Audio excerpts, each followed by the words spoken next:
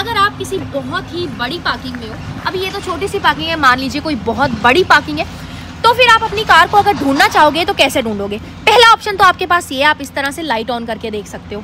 अगर मान लीजिए कि पार्किंग सच में बहुत ही ज़्यादा बड़ी है और आपको अपनी कार विजिबल ही नहीं हो रही है, अब आप कहोगे कि लॉक अनलॉक करने पे, जैसे ये देखो, आवाज़ आएगी तो ये देखो लॉक अनलॉक कर रही हूँ, आवाज़ नहीं आ रही है।